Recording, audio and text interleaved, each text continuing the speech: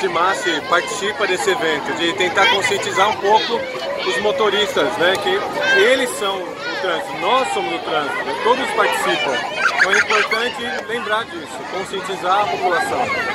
Isso é uma parceria com o Detran? Isso é. Todo ano o Detran vem aqui, junto com a Polícia Militar, e organiza esse corredor para os alunos estarem conversando um pouco com os, com os motoristas. Né? Vocês estão distribuindo, o que, que vocês estão distribuindo? Estamos distribuindo adesivo, panfleto com informações de como de ter uma direção defensiva e alguns brindes. E vai até quando essa, esse evento? É só hoje? Esse evento é só hoje, mas a movimentação aqui na massa é até o final de maio.